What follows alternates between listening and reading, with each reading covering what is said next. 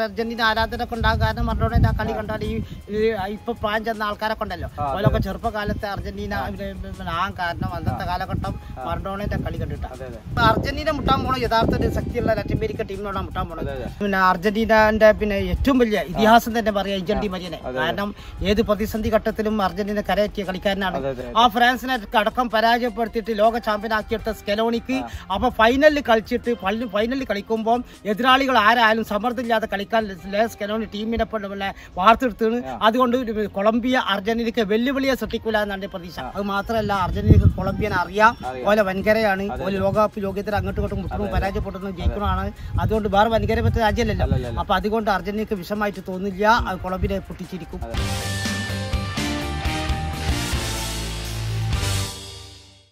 നമസ്കാരം. E X T സ്പോർട്സിലേക്ക് സ്വാഗതം. നമ്മോടൊപ്പം ഉള്ളത് ഇന്ന് പരിചയപ്പെടുത്തി തരേണ്ട ആവശ്യമില്ല. ഇന്ന് പ്രശസ്തമായ ഒരു അതിഥി തന്നെയാണ്. സുബൈർ വായക്കാടാണ്. ഫുട്ബോളിന്റെ കൊണ്ട് ഫുട്ബോൾ നിരീക്ഷണങ്ങളിൽ ഇന്ന് കേരളത്തിലെ ഏറ്റവും മികച്ച രീതിയിൽ നിരീക്ഷണങ്ങൾ നടത്തി ഖത്തർ ലോകകപ്പിന്റെയൊക്കെ സമയത്ത് സാമൂഹിക മാധ്യമങ്ങളിലും ചാനലുകളിലും അടക്കം നിരവധി പ്രശസ്തിയാർന്ന വീഡിയോകളിലൂടെ നമുക്ക് മുമ്പിലേക്ക് അവതരിക്കപ്പെട്ട വ്യക്തിയാണ് സുബേർക്കയാണ് നമ്മോടൊപ്പം ഉള്ളത്. നമുക്കറിയാം കോപ്പ അമേരിക്കയുടെ ഫൈനലിലേക്ക് അർജന്റീന കടന്നിരിക്കുകയാണ്. സുബേർക്കയുടെ പ്രിയപ്പെട്ട ടീമാണല്ലോ അർജന്റീന. എന്തൊക്കെയാണ് ഇത്തവണത്തെ പ്രതീക്ഷകളൊക്കെ? പ്രതീക്ഷകൾ എന്ന് പറഞ്ഞാൽ ലാറ്റിൻ അമേരിക്കൻ കിരീടം നിലവിലെ ചാമ്പ്യനാണല്ലോ അർജന്റീന. പിന്നെ ബ്രസീൽ വെച്ചിട്ട് അർജന്റീന പിന്നെ പിന്നെ ഏഞ്ചൽ ഡി മരിന്റെ ഗോളിൽ പരാജയപ്പെടുത്തിയതാണല്ലോ കഴിഞ്ഞ കോപ്പ അമേരിക്ക ഈ പ്രാവശ്യം ലാറ്റിൻ അമേരിക്കൻ ടീമുകൾ ശക്തിയാണ്. കാരണം പണ്ടത്തെ മാതിരിയല്ല. പിന്നെ ലാറ്റിൻ അമേരിക്ക ടീമുകൾ ശക്തിയാണ്. ഇപ്പൊ ആ പിന്നെ ബ്രസീൽ പുറത്തേക്ക് പോയി. ഉറൂഗനോട്. ഇപ്പം ഉറൂഗ ലാറ്റിൻ അമേരിക്കയിൽ നാൽപ്പത് നാൽപ്പത്തിരണ്ട് മത്സരം അന്താരാഷ്ട്ര മത്സരം പരാജയപ്പെടാതെ വരുന്ന ടീമാണ് കൊളംബിയ എന്ന് കേൾക്കുന്നത് അപ്പൊ കൊളംബിയ പിന്നെ ലെസ്റ്റൻ ലൊലൻസോ. എന്ന് പറഞ്ഞ കോച്ചിയാണ്. കൊളംബിയന്റെ കോച്ച്. കെവിൻ മായർ ഉണ്ട് ഡേവിഡ്സൺ സാഞ്ചസ് ഉണ്ട് പിന്നെ ജാൻ ലൂ സുമി ഉണ്ട് അതുപോലെ പിന്നെ മീനയുണ്ട് അതുപോലെ ഡോഡിഗ്രസ് ഡോഡിഗ്രസ് എന്ന് പറഞ്ഞിട്ടുണ്ടെങ്കിൽ ആ ഡോഡിഗ്രസ് എന്ന് പറഞ്ഞാൽ ഇനിയിപ്പോ അന്താരാഷ്ട്ര മത്സരത്തിൽ ഉണ്ടാവും എന്നുള്ള കണ്ടറിയേണ്ടി വരും. അതുപോലെ ആ ഡോഡിഗ്രസ് നല്ല ഫോമിലാണ്. അവിടെ ലെസ്റ്റൻ ലൊലൻസോ എന്ന് പറഞ്ഞ കോച്ചി ആ നല്ലൊരു കോച്ചിന് മികവാണല്ലോ. അപ്പം ശക്തമായ ഒരു ടീം തന്നെയാണ് കൊളംബിയ എന്ന് പറഞ്ഞ കൊളംബിയ മോശക്കാരല്ല പക്ഷെ ഉറുഗ്യയുടെ വീഴ്ത്തി ഒരു ഗോളിനാണ് അതെ അങ്ങനെ ഫൈനലിൽ പ്രവേശിച്ച്. അപ്പം പിന്നെ അർജന്റീന പിന്നെ വേറെ ഒന്നുണ്ട് ഈ ലാറ്റിൻ അമേരിക്കൻ രാജ്യമാണ് കൊളംബിയ ആണല്ലോ അപ്പോൾ അർജന്റീന കൊളംബിയ ഒരു ഭയങ്കരപ്പെട്ട രാഷ്ട്രമാണ്. അപ്പൊ അതുകൊണ്ട് ഒരു ലോകകപ്പിൽ യോഗ്യത റൗണ്ടിലൊക്കെ പരസ്പരം കളിക്കുന്ന ടീമാണ്. അങ്ങോട്ടും ഇങ്ങോട്ടും ഒക്കെ പരാജയപ്പെടുത്തുന്ന ടീമാണ്. അതുകൊണ്ട് എന്റെ അഭിപ്രായത്തിൽ അർജന്റീനക്ക് വലിയ റിസ്ക് ആയിട്ട് എനിക്ക് തോന്നില്ല. ഈ കൊളംബിയ ടീം ഇപ്പൊ നല്ലൊരു പ്രകടനം കാഴ്ച കൊളംബിയ നല്ല ടീമാണ്. കൊളംബിയ അന്താരാഷ്ട്ര മത്സരത്തിൽ പൂർണമായിട്ട് പരാജയപ്പെടാത്ത ടീമാണെന്ന് കേൾക്കുന്നത് നല്ല പെർഫോം വീണ്ടെടുക്കുന്ന ടീമാണ് കളിക്കുന്ന ടീമാണ്.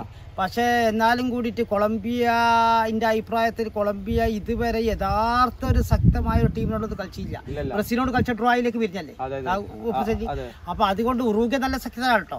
ഉറൂഗ്യനെ ഒരു ഉറുഗനോട് പൊട്ടിച്ച് ശരിയാണ് സംഭവിച്ച്. പക്ഷെ അർജന്റീനക്കും യഥാർത്ഥ ഒരു ശക്തമായ ടീമിനെ കിട്ടിയില്ല. കിട്ടി കാരണം കാനഡ തന്നെ കിട്ടി ഒന്ന്. ഒന്നാം ഗ്രൂപ്പിൽ കിട്ടിയ പിന്നെ പെറു. പെറു. പെറു ഇനി ഇക്കഡോർ എന്ന് പറഞ്ഞാൽ അത്ര വലിയ ലോകത്തെ ഏറ്റവും ശക്തമായ ടീമൊന്നും അല്ല അല്ലല്ല. അപ്പം പിന്നെ ഈ അപ്പം അർജന്റീന മുട്ടാൻ പോണ യഥാർത്ഥ ഒരു ശക്തിയുള്ള ലാറ്റിൻ അമേരിക്ക ടീമിനോടാണ് മുട്ടാൻ പോണത്. അപ്പം യഥാർത്ഥ ശക്തി ടീമിനോട് മുട്ടുമ്പോൾ അർജന്റീന യഥാർത്ഥ ഒരു പിന്നെ ഫോമിലേക്ക് ഉയരും എന്നൊരു പ്രതീക്ഷ കൊളംബിയ കരുതിയായിരിക്കും കളിക്കുക പക്ഷെ കൊളംബിയന്റെ അർജന്റീന ഡിഫൻസ് അർജന്റീന ഫോർവേഡ് നല്ല ശക്തമായ ഫോർവേഡുകളാണ് അപ്പൊ ആ ജൂനിയർ ലാൽബാരസും ലൗതാറ മാർട്ടിനസ്. ഉണ്ട് ആ കൂട്ടുകെട്ട് ആ. സാധ്യതയുടെ കൂട്ടുകെട്ടാണ്. അതുകൊണ്ട് പിന്നെ കൊളംബിയന്റെ ഡിഫൻസിന് പൂർണമായിട്ട് പിടിച്ചു നിൽക്കാൻ കഴിയൂല എന്ന് എനിക്ക് തോന്നുന്നത്. അത് മാത്രമല്ല അർജന്റീനക്ക് കൊളംബിയൻ അറിയാം. ഓലെ വൻകരയാണ്. ഓലെ ലോകകപ്പ് യോഗ്യത്തിൽ അങ്ങോട്ടും ഇങ്ങോട്ടും മുട്ടും പരാജയപ്പെടുന്നു ജയിക്കണമാണ് അതുകൊണ്ട് വേറെ വൻകര പറ്റ രാജ്യമല്ലല്ലോ അപ്പൊ അതുകൊണ്ട് അർജന്റീനക്ക് വിഷമായിട്ട് തോന്നില്ല. അത് കൊളംബിയെ പൊട്ടിച്ചിരിക്കും. പിന്നെ ഈ റോഡ് ഗ്രാസ് നല്ല ഫോമിലാണ്. ആ റോഡിഗ്രാസ് ഫോമിലായാലും റോഡ് റോഡിഗ്രാസിൽ ഫോമിലായ റോഡിഗ്രാസിനെ പിന്നെ അതിന് മാർക്ക് ചെയ്യാനുള്ള കളിക്കാർ അർജന്റീനക്ക് ഉണ്ട് അതുപോലെ ഡീപോൾ ഉണ്ടാവും എൻസോ ഫെർണാണ്ടസ് ഉണ്ടാവും മക്കാലിസ്റ്റർ ഉണ്ട് അതേമാതിരി ഒരു പറ്റം പിന്നെ പരിചയസമ്പത്തായ കളിക്കാരുണ്ട്. അതുകൊണ്ട് റോഡിഗ്രാസിന്റെ സെന്ററിൽ കൂട്ടുമെന്നാണ് എന്റെ പ്രതീക്ഷ. അതെ അതെ. അതുപോലെ അർജന്റീനെ സംബന്ധിച്ചിടത്തോളം പിന്നെ വേൾഡ് കപ്പിന്റെ ആ പെർഫോമൻസിൽ വീടെടുക്കാൻ അർജന്റീനക്ക് ചെറിയൊരു പരിങ്ങൽ കാണുന്നുണ്ട്. കാണുന്നുണ്ട്. അപ്പോൾ ഇക്കട്ടോറിനോട് അർജന്റീന വളരെ വീക്കിന് കളി. ആ ആ. പിന്നെ കാനഡയുമായി മത്സരം അസാധ്യമായ ഫോമിലേക്ക് ഉയർന്ന് അത്യാവശ്യം ഫോമിലേക്ക് ഉയർന്ന് ലേണസ് കെലോഡി എന്ന് പറഞ്ഞ അർജന്റീന കോച്ച് ആ ആ. അവിടെ മാറ്റങ്ങൾ വരുത്തി. ആ, ആ. അവിടെ ഡിഫൻസിൽ അവിടെ മധ്യനിര മറ്റേ അതുപോലെ ഫോർവേഡിൽ ആ ആ. ഏഞ്ചൽ ഡി മരിയ അതുപോലെ മെസ്സി ജൂലിയൽ അൽവാരസ് അങ്ങനെ മൂന്നാൾ ഫോർവേഡിൽ വന്ന് അൽവാരസ് ആണ് ഫസ്റ്റത്തെ കൊള്ളിട്ട് പിന്നെ ഒന്നും മെസ്സി ആയിട്ടുണ്ട് കാനഡക്കെതിരെ. ആ. അങ്ങനെ കാനഡ അർജന്റീന ഇക്കട്ടോളിന്റെ മാതിരിയല്ല. കുറച്ച് മാറ്റങ്ങൾ വരുത്തിയിട്ട് സ്കലോണി ടീമിനിറക്കി മാറ്റം വന്ന്. പിന്നെ എന്ന് പറഞ്ഞാൽ ഏഞ്ചൽ ഡി മരിയ. ഇനിയിപ്പോ ഒരു അന്താരാഷ്ട്ര മത്സരത്തിൽ ഉണ്ടാവും എന്നുള്ള കണ്ടറിയേണ്ടി വരും. അപ്പോൾ അവസാനമായിരിക്കും കോപ്പ അമേരിക്ക അപ്പൊ ഏഞ്ചൽ ഡി മരിയക്ക് വേണ്ടിയിട്ട് ട്രോഫി ഉയർത്തും എന്നാണ് മെസ്സി പറയുന്നത്. അതെ അതെ. അതേമാതിരി അർജന്റീന പിന്നെ എല്ലാ കളിക്കാരും ഡീപ്പോൾ അടക്കം അധ്വാനിച്ച് കളിച്ചുകൊണ്ട് പിന്നെ അർജന്റീനന്റെ പിന്നെ ഏറ്റവും വലിയ ഇതിഹാസം തന്നെ പറയാം ഏഞ്ചൽ ഡി മരിയനെ. കാരണം ഏത് പ്രതിസന്ധി ഘട്ടത്തിലും അർജന്റീന കരയറ്റിയ കളിക്കാരനാണ്. അപ്പൊ ആ കളിക്കാരൻ പിന്നെ പിന്നെ രാജ്യത്ത് നിന്ന് പടിയിറങ്ങുമ്പോൾ ആ പിന്നെ ഏഞ്ചൽ ഡി മരിക്ക് വേണ്ടിയിട്ട് ഒരു പിന്നെ ഒരു കോപ്പ അമേരിക്ക കൂടി ഒരു ലാറ്റിൻ അമേരിക്ക കിരീടം നേടിക്കൊടുക്കാൻ അർജന്റീന കളിക്കാരും പിന്നെ ലയൻസ് കനോഡി അടക്കമുള്ളവർ ശ്രമിക്കുമെന്നാണ് എന്റെ വിശ്വാസം. അതെ അതെ. ഇപ്പൊ നിലവിലെ ഒരു അവസ്ഥയിലെ ഇപ്പൊ കൊളംബിയയും അർജന്റീനയൊക്കെ നല്ല ഫോമില്ല ടീമുകളാണ്. ഇവർ രണ്ടുപേരാണ് ഫൈനലിൽ വരുന്നത്. തിങ്കളാഴ്ച പതിനഞ്ചാം തീയതിയാണ് കോപ്പയുടെ ഫൈനൽ വരുന്നത്. അപ്പൊ രണ്ട് ശക്തിയുള്ള രണ്ട് ടീമുകളെ ഏറ്റുമുട്ടുമ്പോൾ നല്ലൊരു മത്സരം പ്രതീക്ഷിക്കാം അല്ലെ? നല്ലൊരു പ്രതീക്ഷിക്കപ്പോ ഞാൻ പറഞ്ഞ മാതിരി അന്താരാഷ്ട്ര മത്സരം ഇതുവരെ പരാജയപ്പെടാതെ വരുന്ന ടീമാണല്ലോ കൊളംബിയ. അതെ അതെ. അപ്പൊ കൊളംബിയനെ സംബന്ധിച്ചിടത്തോളം പിന്നെ ഈ അർജന്റീനയും ഫൈനലിൽ ചരിത്രത്തിൽ ആദ്യമായിട്ട് മത്സരിക്കണം. ചരിത്രത്തിൽ ആ. ആദ്യമായിട്ടാണ് കേൾക്കുന്നത് കൊളംബിയയും അർജന്റീന ഫൈനൽ അപ്പോൾ ആ ഫൈനലിൽ എന്ന് പറഞ്ഞാൽ ഒരു വൻകരയിൽ തമ്മിൽ പരസ്പരം കളിച്ച ഏതെങ്കിലും ആരെങ്കിലും പോരായ്മ കണ്ടറിയാൻ കഴിക്കും കാരണം രണ്ട് പരസ്പരം കളിക്കുന്ന ടീമാണ്. യോഗ്യത റൗണ്ടിലും ഒക്കെ. അതുകൊണ്ട് എന്നാലും അർജന്റീനക്ക് പിന്നെ ഈ ഒരു കിരീടത്തിന്റെ അടുത്ത് തൊട്ടരിക്കാൻ നിൽക്കുകയാണ് അപ്പൊ തൊട്ടരിക്കാൻ നിൽക്കുന്ന സമയത്ത് ഈ അർജന്റീന സംബന്ധിച്ചിടത്തോളം ഫൈനൽ മത്സരത്തിൽ അർജന്റീന കളിച്ചപ്പോൾ സമ്മർദ്ദം ഉണ്ടായി. ഇപ്പൊ ഇപ്പം ആ സമ്മർദ്ദം തീർന്നത് കാരണം ഒന്നാമത്തെ തെളിവാണ് ബ്രസീലിൽ വെച്ചിട്ട് സ്വന്തം രാജ്യത്തെ ബ്രസീൽ വെച്ചിട്ട് ഏഞ്ചൽ ഡി വരിയന്റെ ഗോളിലോട്ട് പിന്നെ ബ്രസീൽ പിന്നെ അർജന്റീന പരാജയപ്പെടുത്തുന്നത്. അതാണ് അതാണ് അവിടുന്നാണ് ട്രോഫി തുടങ്ങുന്നത് അപ്പം പിന്നെ ആ കളിച്ച്. പിന്നെ സമ്മർദ്ദമില്ലാത്ത കളിക്കുന്നത് അർജന്റീനക്ക് എന്ന് പറഞ്ഞാൽ പിന്നെ പിന്നെ യൂറോപ്യൻ ചാമ്പ്യൻ ഇറ്റലിയും അവിടെ ലാറ്റിൻ അമേരിക്കൻ ചാമ്പ്യൻ അർജന്റീന ഫൈനലിസമാണ് അപ്പൊ ഫൈനലിസമേൽ ഇറ്റലിനെ മൂന്ന് ഗോൾഡ് പരാജയപ്പെടുത്തി. അപ്പോഴും സമ്മർദ്ദമില്ലാത്ത കളിച്ച്. പിന്നെ അതിനേക്കാളും ഒക്കെ പ്രസക്തി പറഞ്ഞാൽ ഖത്തർ ലോകകപ്പിൽ ഖത്തർ ലോകകപ്പിൽ അർജന്റീന എന്ന് പറഞ്ഞാൽ സൗദി അറേബ്യനോട് അപ്രതീക്ഷിതമായി പരാജയപ്പെട്ട അർജന്റീന. എല്ലാവരും പുറത്തേക്ക് പോകുമ്പോൾ കരുതിയപ്പോൾ ലേനസ് കെനോഡി പറഞ്ഞ കോച്ചി മാറ്റങ്ങൾ വരുത്തി. അങ്ങനെ പിന്നെ ബാക്കി ഒരു മത്സരം പരാജയപ്പെടാതെ യൂറോപ്യൻ രാജ്യങ്ങളൊക്കെ കീഴ്പ്പെടുത്തിയിട്ട് അർജന്റീന അതിന് ഏറ്റവും ഫോം നിൽക്കുന്ന സമയമാണ് ഫ്രാൻസ്. ആ ഫ്രാൻസിനെ അടക്കം പരാജയപ്പെടുത്തിയിട്ട് ലോക ചാമ്പ്യൻ ആക്കിയെടുത്ത സ്കെലോണിക്ക് അപ്പൊ ഫൈനലിൽ കളിച്ചിട്ട് ഫൈനലിൽ കളിക്കുമ്പോൾ എതിരാളികൾ ആരായാലും സമ്മർദ്ദമില്ലാതെ കളിക്കാൻ ലേനസ് കെനോണി ടീമിനെ പിന്നെ വാർത്തെടുത്താണ്. അതുകൊണ്ട് കൊളംബിയ അർജന്റീനക്ക് വെല്ലുവിളിയെ സൃഷ്ടിക്കില്ല എന്നാണ് പ്രതീക്ഷ. അല്ല ഇപ്പൊ നിലവിൽ ഇപ്പൊ അർജന്റീന നല്ല ഫോമിലാണ്. ഇപ്പം ഈ ചരിത്രത്തിലെ ഏറ്റവും മികച്ച ഫോമിലാണ് ലയനൽ സ്കൊണോലിക്ക് കീഴിൽ അർജന്റീന കളിക്കുന്നത്. അപ്പൊ ബ്രസീലിനെ സംബന്ധിച്ചെടുത്ത് നോക്കുമ്പോ ബ്രസീൽ പണ്ടത്തെ ഒരു ഫോം കിട്ടുന്നില്ല. അതിലെന്താണ് നിങ്ങളൊരു ഇത് ബ്രസീൽ എന്ന് പറഞ്ഞാൽ ബ്രസീലിൽ നിന്ന് പറഞ്ഞിട്ടുണ്ടെങ്കിൽ ഫോം കിട്ടില്ല പറഞ്ഞാൽ യഥാർത്ഥ കളിക്കാരൊക്കെ വിരമിച്ചു പോയോ മാത്രമല്ല സെറ്റായി വരാൻ കുറച്ച് താമസം ഉണ്ടാവും. അവിടെ ഇപ്പം പിന്നെ ബ്രസീൽ കളിച്ചത് പിന്നെ ബലോണ്ടാണ്. പിന്നെ ഉറുഗനോട്. ഉറുഗനോട് കളിച്ച വിനീസസിന് സസ്പെൻഡ് ആയിട്ട് പുറത്തേക്ക് നിൽക്കേണ്ടി വന്ന്. അപ്പൊ യഥാർത്ഥ യഥാർത്ഥ സ്ട്രൈക്കറാണ് വിനീസസ് എന്ന് പറഞ്ഞത് അപ്പൊ യഥാർത്ഥ നെയ്മർ എന്ന് പറഞ്ഞ ക്ഷീണം ചെയ്ത് നെയ്മർ ഒരു എപ്പോഴും ഒരു പരിക്കിന് വിധേയനാണ് ഒരു കളിക്കാരനാണ്. ഏത് സമയത്ത് ക്ലബിലൊക്കെ പരിക്കിന് വിധേയനായ കളിക്കാരനാണ് നെയ്മർ. അപ്പൊ നെയ്മറിന് പൂർണമായിട്ട് ഫിറ്റ്നസ് വീണ്ടെടുക്കാൻ കഴിയാത്ത സാഹചര്യത്തിലാണ് പുറത്താക്കിയത് ആ. അവർ റെഡിവാൾ ജൂനിയർ എന്ന് പറഞ്ഞ കോച്ചാണ് ഇപ്പൊ ബ്രസീലിന്റെ കോച്ച്.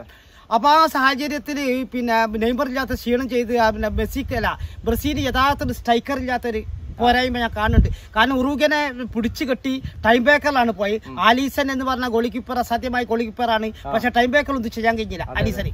അപ്പൊ അപ്പോൾ അതുകൊണ്ട് ഉറൂഖനെ ഉറുഗനെ പിടിച്ചു കെട്ടി ബ്രസീലിനെ തള്ളിക്കളി ഞാൻ പറയാൻ സാധ്യ പറ്റൂല. കാരണം ടൈം ബേക്കറിലാണ് തോൽക്കണത്. ആ വിനീസൻ വിനീസ സസ്പെൻഡ് ആയി പോയി. അത് മാത്രമല്ല പിന്നെ ഒരു യഥാർത്ഥ സൈക്കിളില്ലായ്മ പോരായ്മയാണ് രണ്ടായിരത്തി ഇരുപത്തി ആറ് ലോകകപ്പ് അമേരിക്ക മെക്സിക്കോ കനഡ. അവിടെ വെച്ചിട്ടാണ് നടക്കാൻ പോകുന്നത് നാല്പത്തി രാഷ്ട്രമാണ് പങ്കെടുക്കാൻ പോകുന്നത് അവിടേക്ക് ബ്രസീലിൽ ഒരുപാട് മാറ്റങ്ങൾ വന്നിട്ട് ഇനി റെഡിവാൾ ജൂനിയർ ഉണ്ടാവുമെന്ന് അറിയില്ല കോച്ചായിട്ട് ഉണ്ടെങ്കിലും ഇല്ലെങ്കിലും അയാൾ ആര് വന്നാലും പിന്നെ സെറ്റായിട്ട് എടുത്ത് കൊണ്ടിട്ട് ആ ലോകകപ്പിലേക്ക് കുറച്ചൊക്കെ മുന്നോട്ട് പോകാൻ ബ്രസീലിന് സാധിക്കുമെന്നാണ് പ്രതീക്ഷ. പിന്നെ സുബേർക്ക നമ്മുടെ ഈ അർജന്റീനയിൽ നമുക്ക് നിങ്ങൾക്ക് ഏറ്റവും ഇഷ്ടപ്പെട്ട താരം ആരായിരിക്കും? അങ്ങനെ ഇഷ്ടപ്പെട്ട താരമായിട്ട് ഞാൻ രാജ്യത്തിന് മൊത്തമായിട്ട് ഞാനായിരുന്നു വീശിക്കലി? രാജ്യത്തിന്റെ വിജയം എന്ന് പറഞ്ഞാൽ സെറ്റായിട്ട് എല്ലാവരും ഒരേ മാതിരി പിന്നെ മുന്നോട്ട് പോകണം ലക്ഷ്യത്തിലേക്ക് ഒരേ ലക്ഷ്യത്തിലേക്ക്. അതെ, അതെ. അപ്പൊ ഇപ്പം ലോകത്തെ ഏറ്റവും വലിയ കളിക്കാരൻ മെസ്സിയാണെന്ന് ഇപ്പൊ എല്ലാവർക്കും അറിയാം. അതെ, അതെ. ഇപ്പം ഇപ്പൊ കുറച്ചൊരു പ്രായം കുറച്ച് തളർത്തി വരുന്നുണ്ട് അല്ല അങ്ങനെയൊക്കെ അല്ലേ കിട്ടുള്ളൂ മനുഷ്യനല്ലേ? ഒരു മുപ്പത്തി മുപ്പത്തെട്ട് വയസ്സായില്ലേ? അപ്പം അദ്ദേഹത്തിന് എല്ലാ ലോക റെക്കോർഡുകളും ക്ലബിന് പിന്നെ ബാലിയോണ്ടോർ അവാർഡുകളും അതേമാതിരി ലോക കിരീടം കർണൻ ഖത്തർ അടക്കം കിട്ടി. അവിടെ കോപ്പ അമേരിക്ക ഒക്കെ കിട്ടി. എല്ലാ ട്രോഫികളും കിട്ടി. ഇനിയിപ്പോ അയാൾ ഈ പിന്നെ ഈ കോപ്പ അമേരിക്കയിൽ നേടിയാൽ നേടിയില്ലെങ്കിലും. നേടുന്നാണ് എന്റെ പ്രതീക്ഷ. ഇനിയിപ്പോ എന്ത് സംഭവിച്ചു കഴിഞ്ഞാലും അയാൾക്ക് കരിയറിൽ കരിയറിലെ എല്ലാ കാര്യങ്ങളും പൂർത്തി വിജയിച്ച മനുഷ്യനാണ്. ഇനിയിപ്പോ അയാൾ എത്ര മുന്നോട്ട് പോയില്ലെങ്കിലും വിരമിച്ചാലും പ്രശ്നങ്ങളായിട്ട് കാണുന്നില്ല.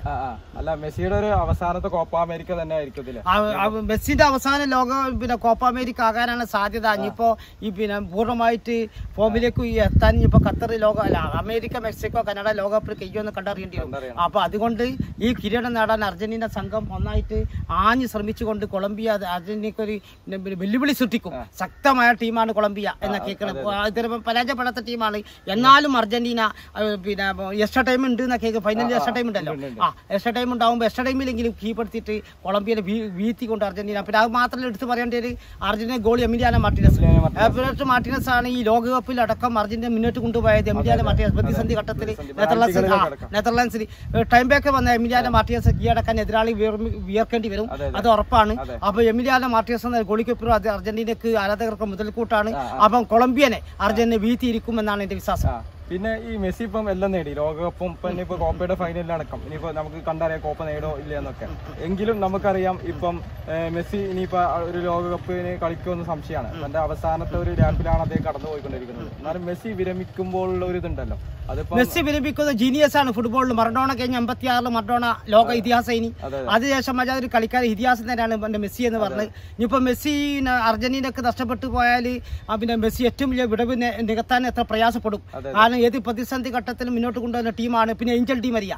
Angel Di Maria. പിന്നെ കോപ്പ അമേരിക്കയോട് വിരമിക്കുന്ന അർജന്റീനക്ക് പ്രതിസന്ധി ഘട്ടം വരും ഉറപ്പാണ്. അതെ, അതുകൊണ്ട് വേറെ ലേണസ് കെലോണി എന്ന് പറഞ്ഞ കോച്ചി രണ്ടായിരത്തി ഇരുപത്തിയാറ് അമേരിക്ക മെക്സിക്കോ ലോകകപ്പ് വരെ നിലനിൽക്കുകയാണെങ്കിൽ അപ്പം സ്കെലോണി ഉള്ളിടത്തോളം കാലം ഭയപ്പെടേണ്ടിയില്ല അത് ഞാൻ ചിന്തിക്കുന്നുണ്ട്. കാരണം സ്കെലോണി എന്ന് പറഞ്ഞ തന്ത്രശാലിയായ കോച്ചിയാണ്. അപ്പം നിലനിന്നാൽ പിന്നെ മെസ്സിയും ഏഞ്ചൽ ഡി മരിയും ഒക്കെ പോയാലും ടീമിനെ വാർത്തെടുക്കാൻ സ്കെലോണിക്ക് സാധിക്കുമെന്ന് എന്റെ പ്രതീക്ഷ. സ്കലോണി ഇപ്പം നല്ലൊരു പരിശീലനം തന്നെ തീർച്ചയായിട്ടും. സ്കലോണി നല്ലൊരു പരിശീലനമാണ് അത് തെളിച്ചല്ലേ ലോകകപ്പ്. അതെ അതെ. സ്കലോണിക്ക് നേടാൻ പറ്റാത്തത് സെലോണി തന്റെ പരിശീലനത്തിൽ തീർച്ചയായിട്ടും. ആ ടീമിനെ ഏത് ടീമും സൗദി അറേബ്യനോട് അപ്രതീക്ഷിതമായി പരാജയപ്പെട്ട ടീമിനെ യൂറോപ്യൻ രാജ്യങ്ങളൊക്കെ കീഴടത്തി കീഴ്പ്പെടുത്തി കപ്പ് കൊണ്ടുപോയ സ്കലോണിന്റെ തന്ത്രം തന്നെയാണ്. സുബേർക്ക് ഇപ്പൊ ഒരുപാട് അർജന്റീനയുടെ കളികൾ കണ്ടേക്കും ഞാൻ ചോദിക്കേണ്ട ആവശ്യമില്ല. സുബേർക്ക് കണ്ടതിൽ വെച്ച് ഏറ്റവും നല്ലൊരു മത്സരം ഏതായിരുന്നു ഈ അർജന്റീനയുടെ വേൾഡ് കപ്പിൽ വേൾഡ് കപ്പിലും അർജന്റീനയുടെ ഏറ്റവും നല്ല മത്സരം. ലോകകപ്പിലും മറ്റേ ലോകകപ്പിലും നല്ല മത്സരം ഫൈനൽ തന്നെ. കാരണം ലോകത്ത് പിന്നെ ഇജാതി ഒരു ഫൈനൽ പിന്നെ ലോകത്ത് ഇതിനു മുമ്പ് ഫൈനൽ ആരും വീക്ഷിച്ചില്ല. കാരണം ജനങ്ങളെ മുൻമുനയിൽ നിർത്തിയ. ഒരു ഫൈനൽ എംബാപ്പ എന്ന് പറഞ്ഞ ലോകത്തെ ഏറ്റവും വലിയ സ്ട്രൈക്കർ ഇനി പിന്നെ ആ സ്ട്രൈക്കർ പിന്നെ എംബാപ്പ ഫോമിലേക്ക് ഉയർത്തല്ലോ പക്ഷെ ഫസ്റ്റ് ഹാഫിൽ ഫ്രാൻസിന്റെ പിന്നെ ഫ്രാൻസ് കളത്തില്ല. അത് അവിടെ ഏഞ്ചൽ ഡി വരെ പിൻവലിച്ച് ആ സാഹചര്യമാണ് വന്ന് ആ പ്രശ്നമാണ്. ആ പിൻവലിച്ച് മോശം തന്നെ. പിൻവലിച്ച് സ്കലോണിക്ക് ചെറിയൊരു താളം തെറ്റിയതാണ്. കാരണം ഏഞ്ചൽ ഡി മേരിയ എന്ന് പറഞ്ഞാൽ ഫോമിലേക്ക് ഉള്ള സമയമാണ്. ടീം ആകെ താളം തെറ്റി. ഏഞ്ചൽ ഡി വരെ പോയ അപ്പോഴാണ് ഫ്രാൻസ് അവസാനം ഒരു പതിനഞ്ച് മിനിറ്റ് കുതി കുതിച്ചു ഉയർന്നത് അപ്പൊ അതുകൊണ്ട് ആ ഫൈനലാണ് ലോകം ഏറ്റവും വലിയ ആകാംക്ഷയുടെ കാത്തുന്ന ഏറ്റവും മനോഹരമായ ഫൈനൽ ആ മത്സരം തന്നെയാണ് നമ്മളെ മനസ്സിൽ നിന്ന് പോകാത്തൊരു കളി. വേറെ ഏതെങ്കിലും മത്സരങ്ങൾ ഇതിലുണ്ടോ? വേറെ മത്സരം ആ മത്സരമാണ്. പിന്നെ അർജന്റീന ക്രൊയേഷ്യൻ മത്സരം ഏകപക്ഷമായിട്ട് ക്രൊയേഷ്യനെ തകർത്തുന്നല്ല അപ്പം ആ ലോകത്തെ ഏറ്റവും വലിയൊരു ഫൈനൽ ആ മത്സരം തന്നെയാണ് എന്റെ സുബേർക്ക എന്ന് മുതലാണ് ഈ അർജന്റീനയുടെ കളി വീക്ഷിക്കാൻ തുടങ്ങിയത്. അതായത് ഈ മെസ്സിയുടെ കാലത്താണോ അതോ അതിനു മുമ്പ് മർഡോണയ്ക്കുള്ള കാലത്തൊക്കെയാണോ?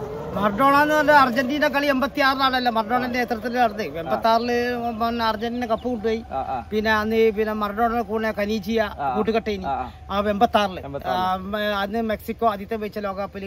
അപ്പൊ ആ സാഹചര്യത്തിൽ പിന്നെ കൊണ്ടുപോയി. പിന്നെ ഈ തൊണ്ണൂറിൽ പിന്നെ അർജന്റീന തോറ്റതാണ്. പിന്നെ ജർമ്മനിയോട് ടൈംബറിൽ ജർമ്മനിയോട് തൊണ്ണൂറിൽ ലോകം ഫൈനലി ആ ആ. അപ്പൊ ആ കാലഘട്ടത്തിലൊക്കെ കളി കണ്ടിരുന്നു തൊണ്ണൂറിലൊക്കെ. ആ കളിന്റെ എൺപത്തി പിന്നെ ആറ് തൊണ്ണൂറിൽ കാലഘട്ടത്തിൽ അവസാനം മറഡോണ കളിച്ച തൊണ്ണൂറ്റി നാലിലാണ് തൊണ്ണൂറ്റി നാലിലാണ് അമേരിക്ക ആദ്യത്തെ വെച്ച ലോകകപ്പിൽ.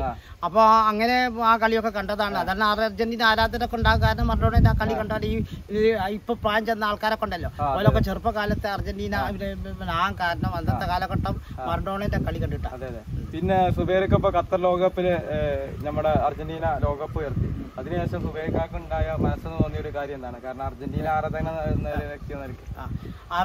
എന്നുള്ള അർജന്റീന കത്ത് കപ്പ് ഉയർത്തി പറഞ്ഞാൽ വളരെയധികം സന്തോഷം. കാരണം മെസ്സിക്ക് എല്ലാവരും കളിക്കാനാക്കും എല്ലാ ഫാൻസുകളും. പിന്നെ ബ്രസീലും മറ്റുമൊക്കെ കാരണം ഒരു കിരീടം മെസ്സിക്ക് നേടാൻ. അത് മാത്രമല്ല നൂലിനും ചുണ്ടിനും ഇടയ്ക്ക് ഇപ്പോൾ നഷ്ടപ്പെട്ടതാണ് രണ്ടായിരത്തി പതിനാല് വേൾഡ് കപ്പ്.